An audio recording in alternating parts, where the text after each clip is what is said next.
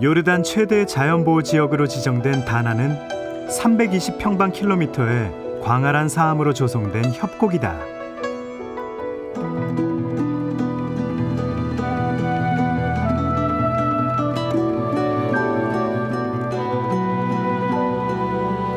이곳에는 자연을 실감나게 관찰할 수 있는 다나 자연 캠프가 있다.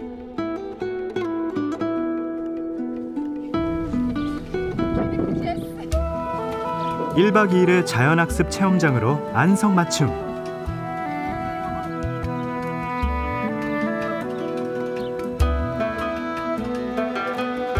기괴한 바위 밑에 핀 아름다운 꽃. 어떻게 이런 꽃이 필 수 있었을까 하는 의문이 생긴다.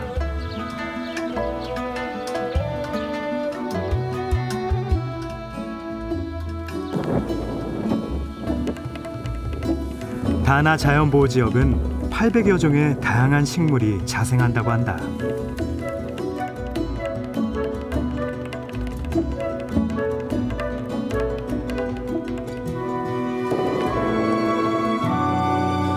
이곳을 방문한 사람들은 야생의 식물과 동물들을 걸으면서 관찰하게 된다.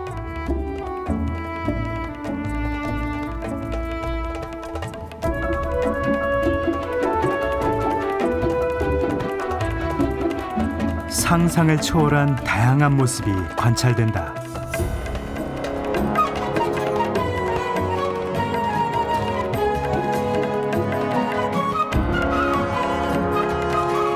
야생 개미다. 이것이 바로 이솝우화 속 개미의 모습이 아닐까?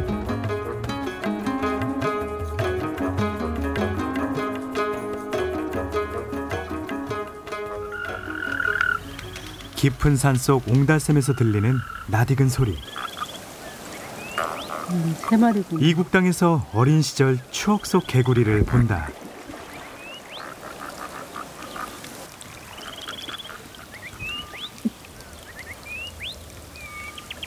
암수 서로 정답구나.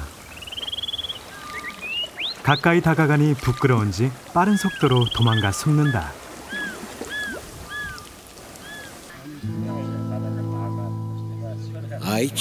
밤이 되면 대자연 속에서 도란도란 이야기를 나눈다. 붉은 빛을 내며 타고 있는 숯불 속엔 아련한 추억이 배어 있다.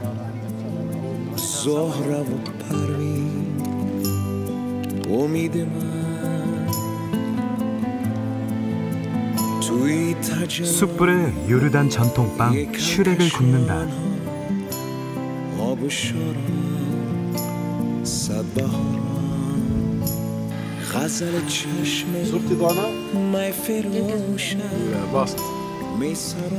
갓 구운 빵은 기대를 저버리지 않는 맛이다.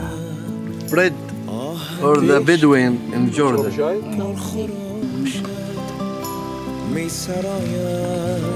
처음 보는 사람에게 선뜻 주는 따뜻한 정을 가슴에 품고 대자연 속에서 하룻밤을 보낸다.